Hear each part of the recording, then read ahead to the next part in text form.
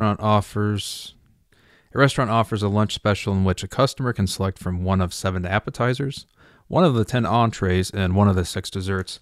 How many different lunch specials are possible?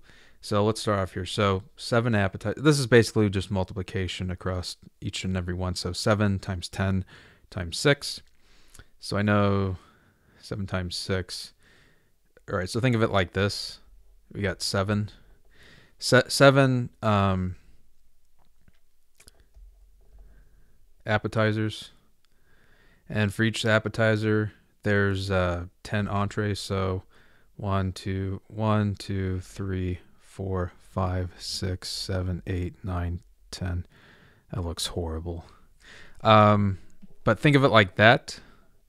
And the reason I state that is because so there's 10 options there. So that's 10 of these. So this is appetizers. This is entrees. And then for each entree, they got six desserts. So that branches out for each one. Um, so seven times 10. So that's going to be 70 choices here. And then when you add the desserts, that's going to be six more. Seven times six is 42. So that's going to be 420 options.